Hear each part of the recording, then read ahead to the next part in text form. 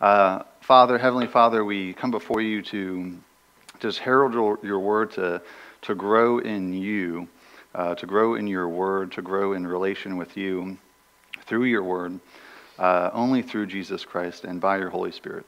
This is by your grace, Lord, and we, we pray for your grace here this morning. Amen. Uh, so, I'm up here again. I always do the caveat that this is 9:30. I'm not going to give you a sermon uh, in the classical sense of a sermon, and so everybody should have an outline, a very simple outline, uh, in their bulletins this morning, uh, which is titled "Resources to Help You Grow Bible Studies." So you might have thought, like Stephen, you did uh, Bible verses, Bible topics, or Bibles, scripture sheets, uh, foundational articles, uh, and a foundational book list. Why are we going back in time to Bible studies? Part of the reason is because uh, that's just how I did it. Uh, the other thing is, which we'll get into, is um, to kind of bridge the subject now, is that when we read the Bible, we're not just reading the Bible. There's no such thing as anyone who just reads the Bible in some neutral sense. You're bringing some preconceived ideas and notions into it as you study Scripture. And so every church does Bible studies. If they, if they don't, then there's a problem, right? If they're not studying the Scriptures. Um, but the reason I'm circling back to Bible studies or, or coming to Bible studies we have now is because as we're looking at resources that will help everybody grow, um, the Bible studies that we have here will make a little bit more sense, or at least the ones I've got listed, will make a little bit more sense if you've read the foundational articles and read the books uh, uh, to kind of get the paradigms and way of thinking to be a little bit more biblical. So, uh, one of my goals today is we're going to, if you were to have a checklist, we're going to check this one off. And this is the major goal of this morning, is to give you this piece of paper so that you have it. So if you have it, it's done, it's complete. You got 45 minutes to drink coffee until the 10:30 starts. Um, because if you see uh, three quarters of the way down where it actually says Bible studies, there's some of our most used Bible studies. Um, these are just some of the ones we use the most that we are, are foundational to who we are, to helping people grow. And we'll get into those uh, in a more practical sense as we go through this. But our theme verse we've been using is Colossians 1 28 and 29. Him we proclaim, warning everyone and teaching everyone with all wisdom, that we may present everyone mature in Christ. For this I toil, struggling with all his energy, that he powerfully works within me. So, our goal here, our goal here this morning, uh, part is this a little sliver. Our goal as a church is to present everybody mature in Christ. Everybody is an equal uh, maturity opportunity uh, to, to be able to mature, right? Paul doesn't say that, well, there's some that just aren't going to mature and we'll just kind of put them over here and kind of babysit them for a little bit and hopefully they'll come and they'll attend and they'll listen and they'll tithe, but we don't really have any expectation that they'll mature and become useful, uh, but we're sure glad to have them. No, Paul just says everyone can be mature. His goal was everybody in every church he planted. Uh, the end goal was maturity. And so we've been looking at how we do that through knowledge and through study. And um, what we're looking at is uh, like when we asked the question on, I think it was when I was doing the foundational book list on we have books on the gospel. And so we all know Romans 1:16 to some degree. And it says, I am not ashamed of the gospel, for it is the power of God to save uh, all who believe, first to the Jew and then to the Gentile. Well, uh, if you're a Christian and you say, I believe the gospel, well, tell me what the gospel is. Sit down, talk to me, explain it to me. Because if you can think in your head that I know what the gospel is, but you can't explain it through your words, then you just don't know it that deeply. Right? It's not as of a mature thought, uh, and you haven't actually worked through it maybe as much as you thought you have. And so, eh, but it's not just knowledge. We're not Gnostics, right? We're not just saying the more you study, the more you learn, the, the better Christian you are. We're not saying you can study your way to perform better to Christ. But God has worked it in such a way, being the source of all wisdom and knowledge, is that we do grow in Him through knowledge, right? We grow in according, and we're held, held accountable and according to our faith, right? Faith in what? Well, well, we have a knowledge of things. We have a knowledge of Christ. We have a knowledge of atonement. We have a knowledge of sin, and we're uh, held accountable according to our faith. And our faith is directly according to how much knowledge we have. And so, uh, one of the reasons why we take this so seriously, uh, if you look at your next verse, Colossians 2 8, see to it that no one takes you captive by philosophy and empty deceit, according to human tradition, according to the elemental spirits of the world, and not according to Christ. Um, and so, uh, I'm going to read the one thing, the one note I prepared uh, that isn't on your outline. It's from a, so I was reading a famous pastor uh, who's, who's in the news uh, lately, at least in my circle of news. And so he quote, this is a quote from him um, as why they're going back and they're putting out so many things, so many publications, so many articles, so many videos, so many books. Uh, they've got a press company. And so he, he says, This is because so many things have completely unraveled over the last few generations, and so many of these disasters were made possible through ill advised compromise by the evangelicals that it is necessary to go back over everything. We need to revisit everything and make sure that we're holding fast to the faith once delivered to the saints. This is something that the church is summoned to do. We must do it or we perish. Uh, so that was a, a, modern pastor who was talking about the, the, the reason to revisit everything and restudy everything, much of the same goal that we have. And so Paul puts it in Colossians is be careful that no one's taking you by, by human cunning, empty deceit, uh, and, and philosophies. And Paul's talking to a church, right? He's not saying, uh, out here in secular humanism world or in the pagan world uh, to these people.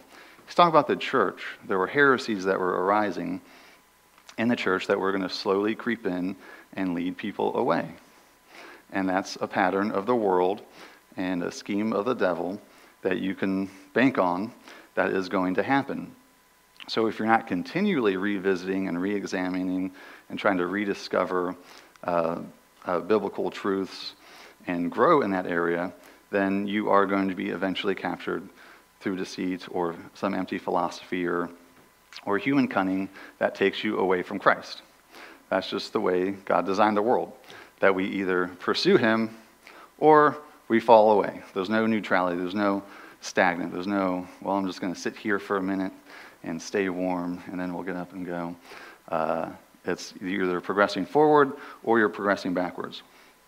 And so I would see it in our modern era, if you're wondering why so many things, especially in the West, are falling apart, uh, it's because of the church. Church's lack of influence, and you see the church declining um, and being more held captive by the world. And so, uh, so every church does Bible studies, right? That's a real question. it should, right? These are, this is a question and answer format. Uh, so I've been to several churches. I've been uh, involved in several churches over the years. And in, in my kind of experience, I think it holds true uh, to the greater uh, evangelical culture is you can go into a church and get tons and tons of Bible study, right? You come, in, come into this church and get tons of Bible studies. That doesn't necessarily help you. And I don't necessarily see every church every person growing in Christ. Right? Does that, does that make sense? Uh, and here's what I've seen. Um, and you guys can kind of weigh this and see if this is your experience. And so let's say you're a uh, woman. That's about 50% of the world, right? I got half of your attention. Uh, maybe a little over half today uh, here. Um, And you go into the church and they're doing Bible studies on what it means to be a biblical woman. And they talk all about biblical womanhood and, and this is what it means. And this is what the Bible says you should do to be a, a good woman. Um, and you can have pre- preconceived ideas in your head of whatever you think I'm talking about. Uh, I'm not going to mention any topics there. But, and so that might not necessarily help you because it's not leading you close, closer to Christ. Right? You can talk all about biblical womanhood or biblical manhood or what faith is and not ever talk about Christ and not ever lead someone closer to Christ. Right? This might like shock some of you, but uh, if they're talking about biblical womanhood and it never talks about the fem- feminine submissiveness of Christ, then they're not leading you closer to Christ. It's generally going to lead you closer to a tradition or a works based salvation, right? Uh, so, without any more on that topic, um, but you guys see how that works?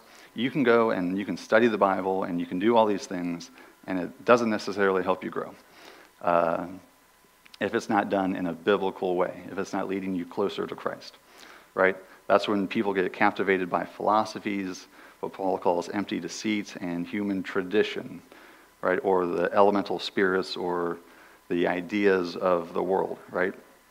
Um, uh, many times I heard a, uh, just in the circle of kind of pastors I follow, I just saw a comment from another pastor that I, that I really like that said that someone should do a book on just the church growth movement and how that just decimated uh, the Western church and how that was just the worst thing possible for the church.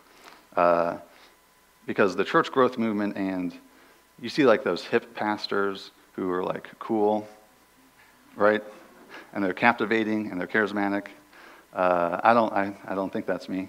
Um, but uh, but that's kind of like a, a worldly spirit of like we're going to be cool we're going to uh, we're going to present these ideas in such a way that it's it's fun and it's entertaining uh, and for the culture right? That's not necessarily a bad thing. I'm just saying that's not necessarily leading you towards christ right? That's a, a spirit of the age more so. And so um, with our resources on bible studies when we actually get to the meat of what the ones we have here we've devised those in such a format that we're, we're not saying these are the things you need to do to be a better Christian. We're trying to go through these are just fundamental things to get you started in Christ, right?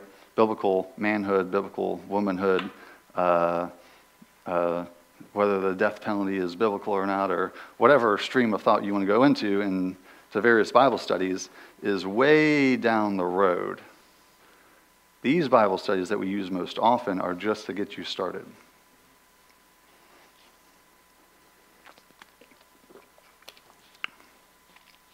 So, John 8 31 and 32. So, Jesus said to the Jews who had believed in him, If you abide in my word, you are truly my disciples. You will know the truth, and the truth will set you free. And so, uh, we apply that to all of Scripture when Jesus says, My word. Um, but even if you were to just look at the parables of Jesus, what are most of the parables about? Anybody? Being faithful in his kingdom. About the kingdom of God, right? Um, how many people are walking into, uh, without comparing it, if we're not helping you grow in the kingdom of God, then we're not helping you grow, right? Simple as that. Deuteronomy 8 3. And he humbled you and let you hunger and fed you with manna, which you did not know, nor did your fathers know, that he might make you know that man does not live by bread alone, but man lives by every word that comes from the mouth of the Lord. And so, uh, one of our Bible studies, it's the second one I have listed, is the SSS 1A, which stands for Search the Scripture Series 1A, uh, which is all about the Bible and the importance of Bible study and why you should study the Bible and what the Bible says about the Bible. And so there's uh, six pages, right? There's uh, six pages of just, there's no notes, it's just Bible verses um, about just what the Bible says with a couple headings that say, like, it's more valuable than uh, riches or gold. Uh, it, it, feeds you, right? And so Jesus quotes this in Matthew 4 4 and Luke 4 4 uh, uh, to combat Satan in the desert uh, and in the wilderness.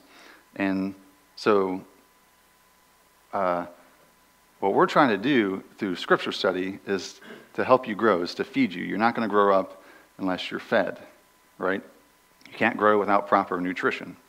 And so, um, but with that, all analogies break down somewhere, but uh, 1 Peter 2 uh, 1 and 2 talk about babies need milk, right?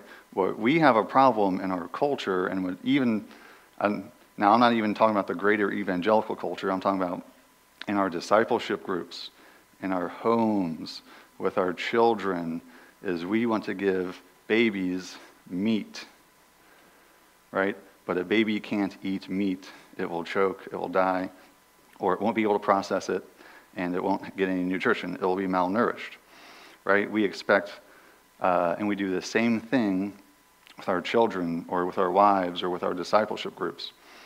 And we need to start with milk, right? We need to start uh, with foundational things.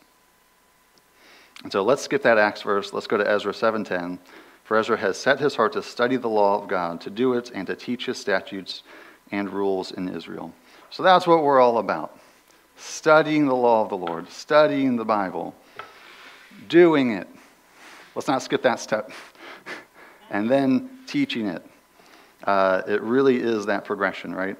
And that is the progression that um, we want to see in everybody, right? we don't, uh, one of the reasons why um, this is maybe just a personal goal, and I think it's helped like at least one person a week, and that's all I care about, uh, is that at least helped one person, is that one of the reasons why I'm doing this series on resources to help you grow, it's because what Josiah said um, a couple weeks ago is that like, scripturally, everybody is expected to make disciples. Everybody is expected to be an intricate part of a body of Christ in a local community, to do something, to become equipped, to, to serve Christ's kingdom in their respective manner. And uh, essentially, if you look from a thousand yard view, that's to read scripture, to become a mature Christian, and then teach other people. That's all you got to do. It's really, it's really simple. it's not easy, but it's really simple. And so um, I've made the case before that these are just tools. This isn't like a step by step, this is what you do to become a mature Christian. And then when you check it off, I'm done. And then I've got like, hopefully, at least like 30 years to goof off and go jet skiing or something uh, because I reached my goal. No, uh, this is an all encompassing life process that we're always maturing, we're always growing in, in sanctification, and then we should always be teaching others. Right? And so, this is why every church does a Bible study. Uh, and I'll tell you why we do some of these. Uh, we'll have a lot of time for just talking about some of these Bible studies. Acts 8 30 and 31. And so, Philip was an evangelist. Uh, he's the only person in Scripture listed specifically as an evangelist. And he's leaving Samaria. He's on a road, I can't remember one and he sees a, a eunuch from Ethiopia traveling, and the Holy Spirit prompts him to say, Hey, go talk to that guy. So Philip walks up, and he's like, he's listening, and uh, I don't know if that was part of Philip being kind of scared to approach him, or but he just listened for a little bit, and the eunuch is uh, reading from Isaiah 53, and then here's where we pick up. Uh, so Philip ran to him and heard him reading Isaiah the prophet and asked, Do you understand what you are reading? Has anybody ever had that problem? You sit down, you read scripture, and you're like, I don't get it. Uh, and, then, and he said, How can I unless someone guides me? Right? Uh, I could tell you for a fact, uh, one of the reasons why we're called to continue reading scripture and studying is because we're just not that smart. the Lord, the clarity of Scripture, the Lord will always show you something, and it'll usually be something that you didn't see before. Right? You guys have had that in, in personal Scripture where you're like, oh, I've read this a hundred times. I'm reading it for the 101st time, and wow, there's something new. Uh, and so he invited Philip to come up and to sit with him, right? But the eunuch like rightly identifies, how am I supposed to like understand this unless someone guides me, unless someone instructs me? And in that specific sense, the eunuch was like, well, the prophet, is he talking about like himself or is he talking about somebody else? Because that'd be really important. Because if the prophet was just talking about himself, then that happened in the past and that's done and over, and that doesn't have a lot of weight and bearing on my life today. But if he's talking about somebody else, maybe it could. I don't know. Uh, he had to think through these things, right? He was probably starting to meditate on it. And so, um, these Bible studies that we do, uh, one of them is in our visitors packet. This is the one I could grab really quickly. Is the very first one on there, uh, the RRBC Rediscovering and Restoring Biblical Christianity series. And so that's like a thousand Bible studies or something. Um, it's closer to like 150. But, and so here in our Bible studies, um, this is just a sheet of scriptures, right? And then at the end, it has 15, well, sounds 14. Uh, should update that one. Um, emphasis that we're focusing on to restore a biblical Christianity.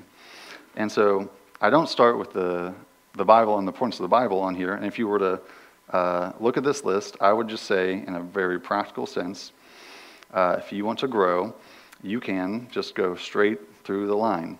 I put these in a very specific order. Um, that doesn't mean it applies to everybody, but uh, it would be a general order.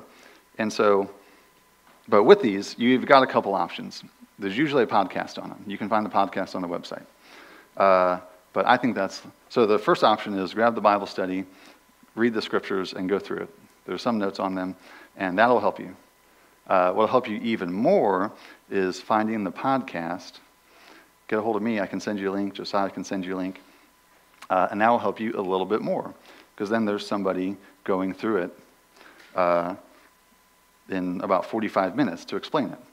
What'll help you even more is to get with someone that disciples you or to get with a more mature Christian uh, to say, hey, can we go through this? Because um, what you notice when you do any sort of study, whether it's biblical studies or whether it's during school or anything, um, if you're just reading a textbook, you might get it to one level.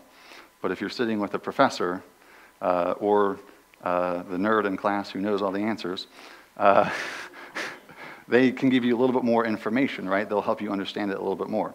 And then maybe that nerd knows it more than the professor, uh, or not. And then maybe the professor is the next level. Uh, but if you're sitting down with a professor, they would definitely give you all the answers you need to know for the test, uh, or what you need to study, what would be most important, right? And so that would be the best way to go through it. If you grab the Bible study, read through it, uh, listen to the podcast would be the next, and then uh, just find somebody, get a, every, there's like uh, 10 discipleship group leaders. Um, get a hold of one of them. If you're not in one, find one. Um, and then ask them to go through it. And so, because you could read it and not necessarily get out of it what is intended. Does that make sense? And so, especially when we look at those 15 emphasis. And so, on there, on the first Bible study, Rediscovering and Restoring Biblical Christianity, uh, the very first one is well, let's look at it. It what does it mean to love God? Right? Well, that's a pretty good way to start. It doesn't say anything about like biblical manhood or womanhood or, uh, or whether I should uh, work on Sunday or not. Those are surely addressed in those topics, but that doesn't, that comes second. That comes third, fourth, fifth down the line, right? And so, on that topic of what does it mean to love God, it's what does it mean to study His Scripture. And so, if you were to just go through um, that first outline of the RRBC series and think about those scripture verses and think about those 15 emphases and then think about does this make sense? And is this a constant idea in my life? Is this what my life is about? Right? Does it conform to the scriptures? And am I therefore then uh, not just studying it, but am I doing it? Right? Study, do, teach. Uh, that old old dictum that those who can't do teach is a humanistic worldly thing. So it's a truthism. It is true uh, in much of the world. But biblically, we're supposed to study, do, and then teach, right? We don't. Uh, we wouldn't put up with people who uh, whose lives aren't characterized by what they're teaching. That's called hypocrisy. Welcome to the West. Uh, and so the second one on there, which I'm pretty sure if you've been here more than a week, I hope you've gotten it, hope you've read through it, is the Search the Scripture series, 1A, the Bible and the importance of Bible study.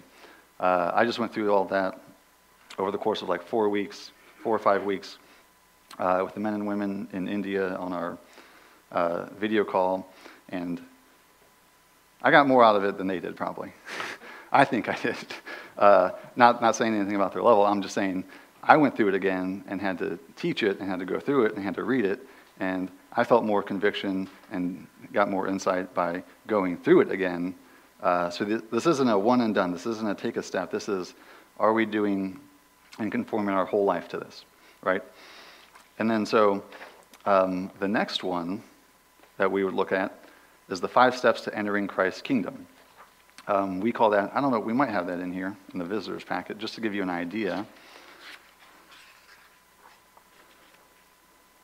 We have an article called Meat and Potatoes Christianity, uh, which you heard me talk about with the uh, foundational articles. Um, and on the back, we have what's called the 555 principle. And one of those, the first one is the five steps to entering Christ's kingdom. And so, uh, so if you were um, in previous years on the leadership, we never had an official anything, uh, of Wright State's Rock Campus Fellowship, uh, you would have had to take a test and you would have had to known what are the five vital, five steps to entering Christ's kingdom with scripture verses. Let's see how well they remember, because I know a lot of you are in here. What's the first step to entering Christ's kingdom? Studying biblical manhood and womanhood. No. Uh, okay, I'm going to drop that topic. No. It's receiving Jesus, right? You can't enter Christ's kingdom without receiving Jesus. So, what does that mean? Well, I prayed the prayer in my heart and I answered an altar call and I come to church. Uh, I don't know. right? Is that biblical? No. Probably not. Uh, maybe something went on. Um, but what does it really mean to receive Jesus, to enter into his kingdom, to make him Lord? Uh, right? That's a huge study. Everybody should go through that. Uh, now, there's steps one through five, but number one has to come first, and then two, three, four, and five are in no particular order biblically. But what do we call step two? Water baptism, right? Uh, if you were to read further in, in Acts chapter 8, uh, the Ethiopian eunuch is starting to study scripture with Philip, and then he says, Well, there's some water, let's get baptized. He at least got that far enough in the 555 outline uh, before Philip takes him, right? Water baptism. Um, right? There's so many different views on baptism nowadays. Uh, we don't, as a church or biblically, hold to any particular view. There are some things uh, that Scripture points out that are really important to study, but what is baptism? Why do we get baptized? What mode of baptism is important? Is that a thing? Uh, is that even a right question? Um, right? All of those things are, uh, are out there in controversy world, but, but to really study Scripture and to, to find out what the Lord says about baptism uh, is what we're going after, right? Step three. Baptize in the Holy Spirit, right? There's another, go down one line, baptism in the Holy Spirit studies, right? Uh, New Testament Christians were baptized and filled with the Holy Spirit, and that was a regular thing, right?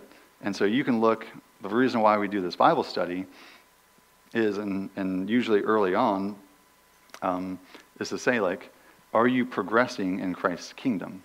Uh, it's not a check the box, right? Did I complete this step to be a mature Christian? It's, is this what the Lord's calling me into, into his kingdom? And I, am I progressing and maturing in his kingdom? Right? So getting baptized in the Spirit. Step four. Healings and deliverances. Yeah, inner healing and deliverance. Right? Uh, getting demons cast out. Are there any demonic influences in your life? Are there any uh, emotional or spiritual wounds that you've experienced that need to be healed from in order for you to progress into Christ's kingdom? And what's number five?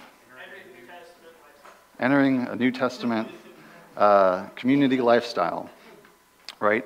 Um, and so, very simply, without getting into the five vital signs of life, which are, this is also kind of included, but when you look at what Colossians says about uh, maturity and especially what Ephesians 4 says about maturity, is you cannot be um, idle, not involved in a body, in a community of believers doing work for the Lord and uh, not be progressing in maturity, right?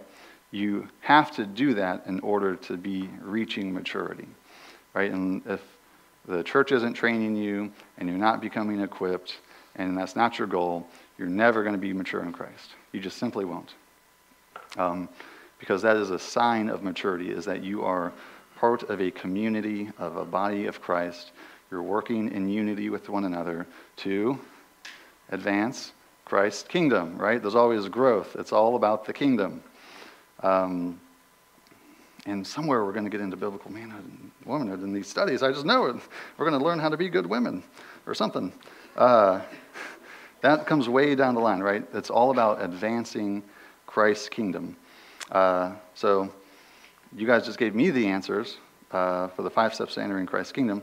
That's kind of an important study for self examination of not just like, so receiving Jesus, I think, is a constant, ongoing, daily thing. Uh, water baptism isn't. You're only doing that once. But, but communion uh, is another sacrament, but you should be constantly reminded of your baptism in Christ. Of it's it's a spiritual warfare thing of like, do you have you studied and know enough about baptism, and do you have the right paradigms of Scripture to say, oh, when I'm having spiritual warfare and I'm having tons of like self-denigrating thought, do I remember that? Oh, I was buried in Christ. I was buried in the waters, and I was raised in newness of life. I don't have to think this way. I don't have to act this way. Uh, do you use it? Or is, was, was it just an empty symbol, and, or did you not get baptized, and that's for later on in life, or something, right? It's like, did you, did you know the biblical precepts of the importance? And so those things help you, those studies help you. The five vital signs of life.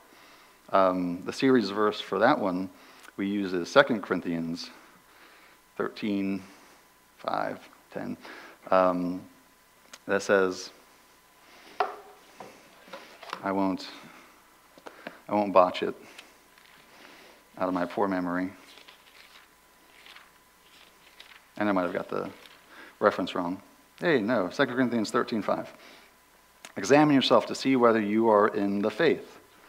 Okay, well, what's the exam? Where's your 100 question survey to see if I get the right answers? Test yourself. Okay, I'm ready. Give me the test. Or do you not know, uh, or do you not realize this about yourself, that Jesus Christ is in you? Unless indeed you fail to meet the test. Oh no. The test is, is has Christ been formed in you? And there are certain things that Scripture points out that are signs of life in the Christian. Uh, and are those things active and growing in you? Um, many times, even our Lord uses the, the horticulture analogies of, of fruit and trees growing. Is it, is it producing more fruit? Is it continually growing? Is it expanding? Because um, I can tell you all about my fruit trees at home and uh, the frustrations of how hard it is to get fruit with uh, East Dayton squirrels. And are those things getting are those things that are getting in the way of your growth and fruitfulness uh, flourishing or is fruit flourishing, right? And so uh, there's a study on the five vital signs of life. Um, I'm not going to mention them now because if you don't know them, then you should study them. You should get the Bible study. Uh, we talked about the baptism in the Spirit. Uh, the eight essential elements of the biblical Christian gospel series. That's another one. You thousand Bible studies. Uh, there's plenty to go through. Um, but, and so we categorically list eight things that are essential to the Christian gospel. And so when we're going out and evangelizing and we're going out and sharing the gospel, um, are we preaching something or are we, when we're discipling people, are we actually giving them a full biblical gospel or a best attempt, or are we watering it down? Are we taking the easy path? Right? Or are we giving them the easy path? Give them the simple path, but not the easy path. Make it clear, and it should be clear to you. Um, and so, how does the, real quick, just how does the kingdom advance from people to people? Talk, right? It's words. How does the gospel advance in your life? I talk. It's words, by words, it's by God's words. It's by communication. It's always about communication. It's always relational. And so if you want to grow in the kingdom, you have to understand how God is communicating to you. And if you want other people to grow and if you want to help other people to grow, you have to be able to communicate it clearly to them. And so, besides just you becoming a mature Christian and using these Bible studies, the kind of secondary goal is um, has ever anybody ever uh, everyone's had this but maybe like in a school project or um, when your parents misunderstood and caught you doing something that wasn't actually bad but you're trying to explain it and you're having trouble explaining it. Right? And you're like no i wasn't really doing that but you don't understand. You it's uh, or if you were like in the middle of a school project or something or an oral uh, presentation and you know it like deeply in your mind and you, you think you do but then when you're trying to tell other people you're like and you're like tripping over your words and you're like well i'm not really communicating clearly right? We're trying to get to the level where uh, not just you know it internally and you're internalizing it but you can tell your spouse or your children right? Uh, maybe this isn't, this is maybe farther along in the biblical manhood womanhood series, but does everybody know that like you don't talk to your wife the same way you talk to your children? Anybody not know that? Does anybody want to? Uh, some people learn the hard way. Uh, hopefully, this isn't too late for you. Um, but you have to communicate, and it's a different way you communicate to your wife a certain thing. Like, hey, even if I was communicating to my wife, don't touch the stove, it's hot. I might communicate that differently to my, to my youngest daughter, Lily, uh, who's seven. Um, I would take different modes and ways to communicate. There'd be different tones, there'd be different words used, right? And um, like in my experience in doing the, and when you talk to people from a different culture, it gets even harder, right? Doing the Bible study in India, they don't have the same idioms that we have. Uh, there's many times where I can just tell, like, oh yeah, I said something that only makes sense to a Western American, uh, right? I don't want them to hear the Western American gospel and to understand these Western idioms. I want them to understand the biblical gospel, right? And so you have to learn how to communicate these truths of scriptures to a million different people. That's how much you have to study. That's how much you have to know it right? Um, going back to the quote I had said about um, just everything being kind of disassembled and compromised by evangelicals in the last couple generations, is that we can quote and say, well, Jesus died for my sins, and uh, even just that is just like loaded with presuppositions and what the heck does that mean, right?